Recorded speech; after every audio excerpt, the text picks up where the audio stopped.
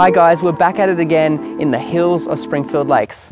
Close to schools, universities, shops and hospitals, this home has so much to offer.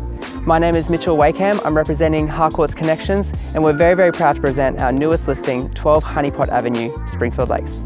Welcome home.